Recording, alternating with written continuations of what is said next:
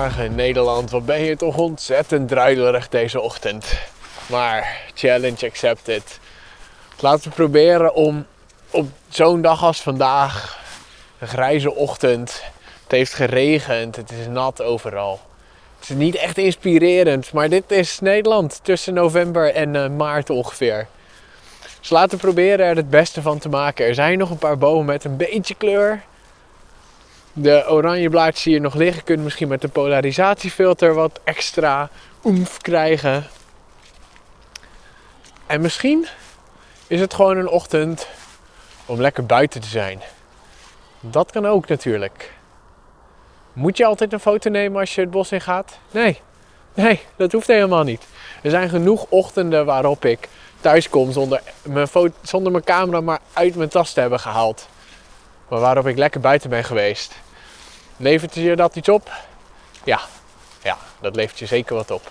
Geen mooie foto's, maar een goed, uh, goed brein. Wat net zo belangrijk is. Maar goed, we gaan wel proberen foto's te maken vandaag. Dus uh, kom met me mee. Hier in het Mastbos bij Breda.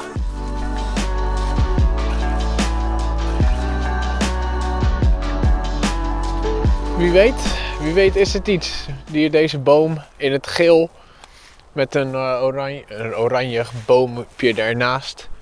Um, enige manier om uit te vinden of dat een foto ook iets wordt, is om er de camera bij te pakken. Maar stap 1 is even te kijken van ja, is, is dit iets wat, wat, uh, wat, zo, moeilijk om te praten.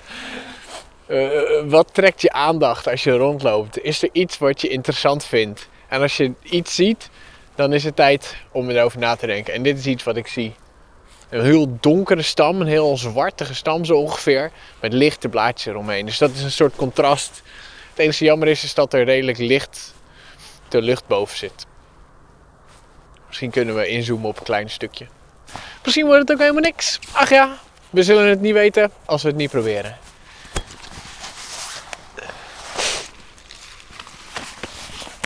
Ja, dit is dus die, die bomen waar ik naar aan het kijken ben. Dus je ziet dus hierachter ontzettend licht.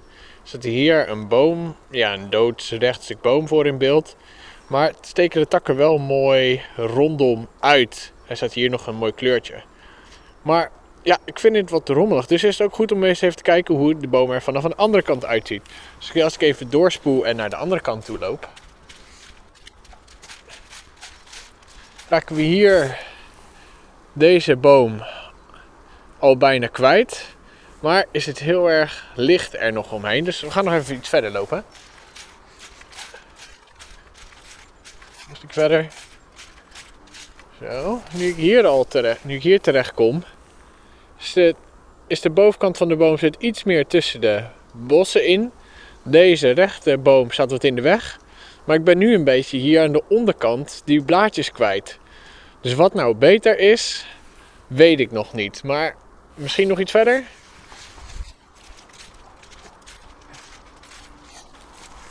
Hier zo valt de boom nog iets beter in de boom in de achtergrond. We blijven die voorgrond houden. Nou, we gaan het even proberen. Wat ik in ieder geval alvast ga doen, is mijn polarisatiefilter erop zetten. Want met deze natte bladeren kan het ontzettend helpen om even die kleur er extra uit te brengen. Nou, we staan nu aan de ene kant waarbij uh, die rechte paal zeg maar, er nog voor staat. Even kijken. Ja, dat, uh, dat heeft wel weer... Dat maakt het al wel weer beter. Maar ja, ik ga hem gewoon even nemen. Even kijken wat ik ervan vind uiteindelijk. Ik ga zorgen... We hebben vorige week gehad over die belichtingsdriehoek. Over welke keuzes je nou maakt en voor je instellingen. En in dit geval is mijn diafragma voornamelijk belangrijk denk dat ik ga voor F ja, 8 of 4 ongeveer. Ergens ertussenin om te zorgen dat die boom met die oranje blaadjes goed scherp is en de rest iets minder. Zodat je aandacht gaat naar die belangrijkste boom. En omdat ik nu op een statief fotografeer, ja, heb ik niet zoveel last van beweging. dus bijna geen wind. Dus mijn sluitertijd is niet belangrijk in dit geval. Dus we gingen op F4. Als ik scherp, goed scherp stel op de boom. Want ik moet nu wel zorgen, omdat er weinig scherpte diepte is, is er maar weinig in die diepte scherp. Dus hetgene dat scherp moet zijn, moet ik ook echt scherp hebben. Oké, kom ik op een uh, ISO van 100 uit op uh, 1 derde van een seconde. Even kijken. Ik vind de kleuren heel fijn. Uh, het is echt geel, oranje, groen, van alles door elkaar. Maar ik vind de compositie erg rommelig. Um, ik maak nog voor de zekerheid een foto op f8. Om net even iets meer scherp te hebben door het beeld heen. En dan kan ik achteraf kiezen wat ik het mooist vind. Ja, nou ja, zoals ik zeg, een rommeltje. Maar misschien wel een goeie. We gaan even naar de andere kant toe kijken of dat beter is. Oké, ik ben naar die andere kant toe gelopen om te kijken of dat dit net iets beter uitkomt. Daar zit ik wel met dat ik 70 mm eigenlijk net te ver is. Net te ver ingezoomd. Dus misschien moet ik even een paar stapjes naar achter nemen. Ja, dat werkt niet. Dat is uh, een beetje het moeilijke. Um, dan moet ik naar 35 mm, want ik heb nog wel mijn 50 mm bij me, maar daar kan ik mijn polarisatiefilter niet op zetten. Dus uh, de tas heb ik nog daar laten liggen, dus dat is niet zo handig. Kijk, ik ben wat uh, naar voren toe gekomen, omdat ja, ik naar die 35 mm toe ga. Zoals ik al zeg, ik heb nog een 50 mm bij me, maar dat is die goedkope Plastic Fantastic, wat een toplens is, maar ik kan mijn polarisatiefilter er niet op zetten. Dus verder naar voren, wat wel betekent dat er meer lucht in beeld komt. Maar ik vind die polarisatiefilter zo belangrijk in dit geval dat ik uh, dat waard vind. Laat ik even op mijn camera even filmen zodat jullie kunnen zien wat voor verschil die polarisatiefilter nou eigenlijk maakt. Want tijdje geleden liet ik jullie dat met herfstkleuren zien. Toen werkte het niet zo heel goed. Maar nu met natte blaadjes, zon vanaf de goede kant, is het verschil uh, ontzettend groot. Dit is eigenlijk het shot zonder polarisatie. En als ik nou ga draaien aan die polarisatiefilter, is dit met polarisatiefilter aan. Dus als je voornamelijk eens op die blaadjes let in beeld, nu zijn ze heel erg blauwig en uitgewassen van kleur. Maar als ik ga draaien aan die polarisatiefilter, komt dat gelige, oranjige komt veel harder naar voren zetten. En dat is echt de kracht van een polarisatiefilter in zo'n foto. Dus laten we er een foto van gaan maken. Zoals ik al zeg, ik heb een hoop licht boven in mijn beeld. Uh, en om te zorgen dat ik toch uh, dat, dat wat terug kan brengen, maak ik een foto met ook een donkerdere belichting. Zodat ik die samen kan voegen later. En net als met de vorige belichting ga ik hier ook weer voor een F4. Sluitertijd maakt me niet uit. Het is zo goed als windstil. Ja, zo goed als windstil. Dus uh, nou ja, F4 geeft me voor een belichting voor de boom. Dus niet voor het licht. 0,4 seconden. Prachtig. En dan doen we nog een tweede belichting op. Even kijken, die zetten we terug. Nou, dan kom ik uit op uh, 1 dertiende van seconde. Zo je zien, die is erg donker voor de voorgrond. Maar dat compenseert mooi voor de lucht. Dus nou ja, dan is het nu tijd om uh, voor deze foto terug naar de computer te gaan. En te kijken of een van de twee goed genoeg is om nu te laten zien. Maar ik, ik ga er sowieso, weet je wat? Ik ga er sowieso eentje laten zien. Want dit is gewoon fotografie in het bos op dit moment. Is, dit is gewoon Nederland tussen november en maart. Daar moeten we het mee doen. En dat is ook weer een leuke uitdaging. Bij deze één of twee van de foto's.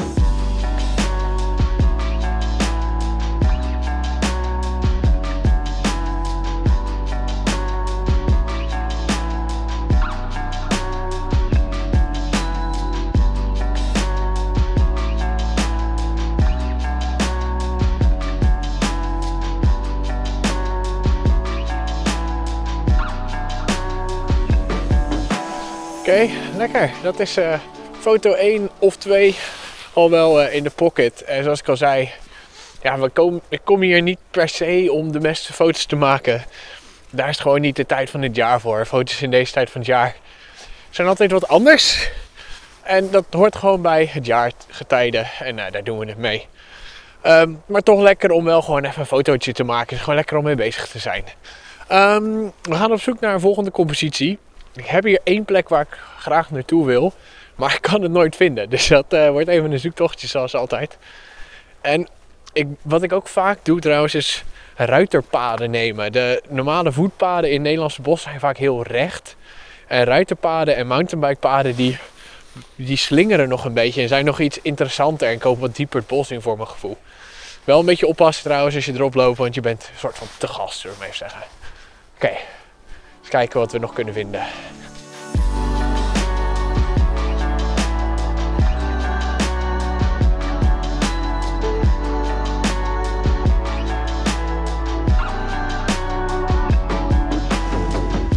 Eh, ik heb toch eh, mijn handschoentjes er maar even bij aangetrokken. Want het is toch wel erg fris deze ochtend. En eh, voor de oplettende kijken. Oh, ik loop hier een modderpoel in trouwens. Een moment. Zo.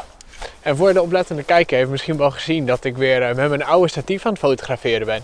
Ik heb mijn uh, Fotopro statief in Roemenië laten liggen. Bewust. Want ik wist dat ik deze hier nog had staan. Dus goed om weer herenigd te zijn met mijn Rolei. Rolei. Rolei. Prettig statiefje sowieso. Goed, um, dat terzijde, man, wat een uh, grauw donker bos is het. Maar er zijn echt van die sprankjes aan kleur nog. Zoals hier weer uh, deze boom hier achter me. Is misschien niet te fotograferen. Maar het is wel fijn dat het er is. ik ben nog steeds op zoek naar die locatie die ik heb. Maar ik moet even niet te veel daar vast komen zitten. Want als ik nu op zoek ga ernaar, dan kijk ik niet meer goed naar andere dingen. Dus laten we kijken. Laat ik mijn ogen open houden voor alles wat er nog te fotograferen is. Al is het misschien niet zoveel. Vind dit lastig. Eh, het is een mooi stukje kleur. Deze bomen, eigenlijk overal waar je eromheen loopt, staan er andere dingen te veel in de voorgrond, te veel in de weg. Waardoor het moeilijk is om te fotograferen. Vooral vanaf deze kant staan er veel bomen voor. Maar ook vanaf de andere kant, dus zoals je in dit shot misschien wel kan zien, is het eigenlijk te druk. Ach ja, zoals ik al zei, misschien zijn er geen foto's soms. Het is gewoon lekker om te lopen.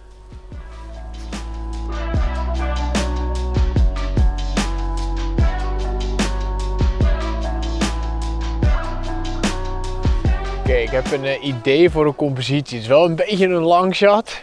Maar hé, hey, waarom niet?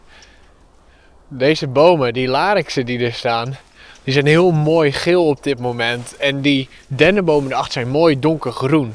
Dus dat levert een mooi sterk contrast op. En misschien, misschien als ik heel ver inzoom en net daar een stukje van pak, dat dat interessant kan zijn.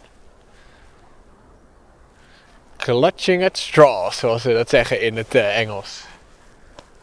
Kijken vanaf welke positie we daar iets van kunnen maken. Ik probeer het eerst even vanaf hier omdat ik hier eigenlijk een stukje bos uh, open genoeg is.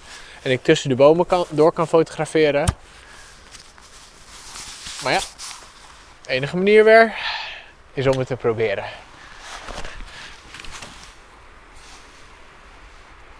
Nee, is nog uh, te ver weg. Zou heel veel dichterbij moeten komen. Oké, deze foto. Ik heb iets gevonden. Het worden niet die larixen waar ik het net over had. Maar deze boom hier achter me. En uh, het idee blijft hetzelfde zijn. Oranje, felle bladeren in de voorgrond met een donkere achtergrond, waardoor die bladeren zo uitspringen. En uh, de takken zijn ook heel donker op momenten, omdat ze zo nat zijn. Ze is heel zwart bijna. En dat, ook dat levert weer een mooi contrast op met die lichtere oranje-gele bladeren. Dus er is een plekje hier zo precies tussen de, in de bosjes waar die boom zo omhoog steekt. Dus ik heb een paar lijnen zo omhoog met die bladeren eromheen en dan die donkere achtergrond. Dus ik ga even opzetten ga ik jullie laten zien wat ik hier mee in uh, gedachten heb. Dit is de compositie die ik in gedachten heb. En zoals je ziet lopen er dus een paar takken door het beeld omhoog die zo naar buiten toe gaan. En wat nu ook nog interessant is trouwens, is dat de wind is uh, opgepakt. Ze waait wat, de blaadjes bewegen wat meer door het beeld heen. En daarnaast heb ik wat bladeren in de voorgrond en wat verder in de achtergrond. Dus ik heb ook nog redelijk wat scherpte diepte om mee te werken. Dus ik moet nu keuzes gaan maken hoe ik mijn camera het beste in kan stellen om deze foto vast te leggen. Nou, zo, wat ik dus onder andere belangrijk vind, is dat de sluitertijd kort is. Ik zit nu op 0,3 seconden. Nou, eigenlijk wil ik die misschien wel naar de uh, andere kant op. Wel richting 1 honderdste van een seconde. En mijn diafragma staat nu ver open. Maar die wil ik eigenlijk iets verder dicht. Dus kom ik op 1 achtste. Ja, en nou wordt het lastig dan zou ik mijn ISO misschien toch iets omhoog moeten zetten. Maar ja, hoe ver moet dat? Komt u maar. Zit ik op 8000? Ja, dat vind ik niet acceptabel. Die wil ik eigenlijk toch maar op maximaal 800. Dus ik ga in eerste instantie proberen of ik die foto toch kan maken met een langere sluitertijd. En dat bepaal ik door naar mijn histogram te kijken. En dit is mijn histogram, deze. En die zegt eigenlijk of dat de dingen onderbelicht zijn aan de linkerkant of overbelicht aan de andere kant. Dus op zich is dit een aardige belichting zo. Zit ik niet onderbelicht Hij zit niet tegen de linkerkant aan en niet tegen de rechterkant aan, dit witte hompje, zeg maar. Of in ieder geval boven en beneden in dit geval, maar eigenlijk is het links en rechts. Maar goed. Dus ik op 1 vijfde moet ik wel even zorgen dat ik goed ben scherp gesteld. Dus ik ga op dit stukje een beetje achter in het beeld scherp stellen. En nu waait het ook niet zo hard, dus gaan we snel deze foto nemen. En dan moet ik even goed gaan kijken of dat de voorgrond scherp is en de achtergrond scherp is. Oké, ik heb het gevoel dat die voorgrond net niet helemaal scherp is. Dus ik ga mijn F toch verder omhoog zetten naar 13. Maar nu wordt hij dus weer donker, dus zal ik dat toch moeten compenseren. En ik wil mijn ISO niet hoger zetten. Dus ga ik toch naar uh, weer een hogere sluitertijd. En ga ik wachten op het moment dat het net even wat minder waait. In de hoop dat dat helpt. Maar alle blaadjes, vooral hier voorin, die bewegen toch best wel. Ik denk niet dat dit een goede gaat worden. Nou, en zo probeer ik uit totdat ik die blaadjes voorin goed scherp heb en achterin. En misschien dat ik zelfs wel ervoor kies om toch te gaan focussen hier een beetje. Maar dat is eigenlijk niet te doen in zo'n druk beeld. Dus nou ja, we gaan er uh, het mooiste van maken van deze foto. En dan krijgen jullie nu het uh, resultaat te zien.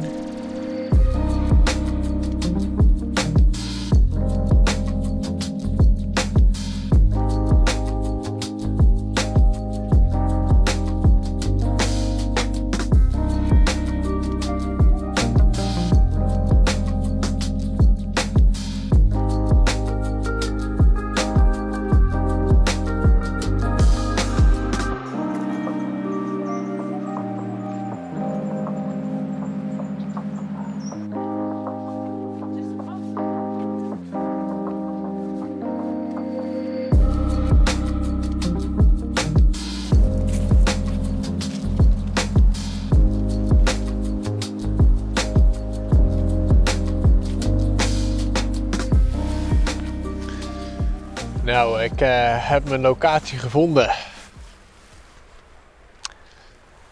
Maar het is helemaal niks meer. Uh, het was een heel mooi stuk met hele hoge bomen, best wel redelijk vol. Met heel veel bracken is het Engels woord, svarens of iets dergelijks. Als je het goede woord weet, laat me even weten. In de voorgrond. En dat, ja, ik vond het contrast heel mooi tussen die voorgrond. Ik heb heel veel contrast vandaag. Uh, tussen die bruine voorgrond en die hoge bomen. Maar de hoge bomen zijn weg.